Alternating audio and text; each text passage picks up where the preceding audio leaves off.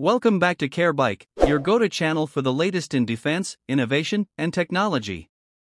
Today, we're diving into one of India's most significant aerospace updates the 2025 HAL Tejas.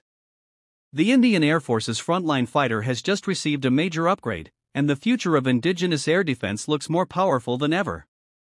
What's new in the 2025 HAL Tejas? The 2025 variant of HAL Tejas, known as Tejas Mk1A, brings in over 40 major improvements compared to the earlier Mk1. One of the most striking updates is the integration of Active Electronically Scanned Array AESA, radar, which significantly boosts target tracking and engagement capabilities. This radar system is complemented by new electronic warfare EW suites, giving Tejas enhanced survivability in high threat environments.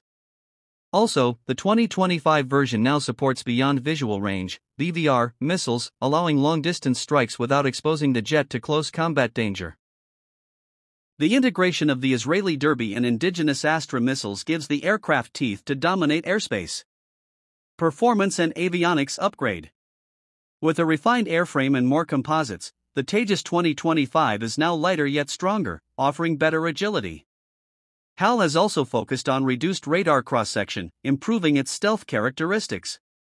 Its digital flight control system and new glass cockpit enhance pilot situational awareness, making the aircraft more intuitive and lethal.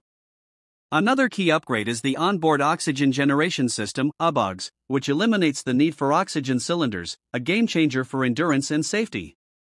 India's future in the skies. With over 100 Tejas Mk1A jets planned for induction, this upgrade marks a bold step in India's journey towards defense self reliance. It also sets the stage for the upcoming Tejas Mk2 and AMCA programs, placing India firmly in the league of modern air power nations.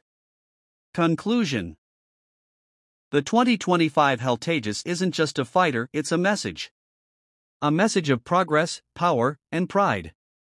Stay tuned to Care Bike for more updates on India's defense and tech breakthroughs. Don't forget to like, share, and subscribe.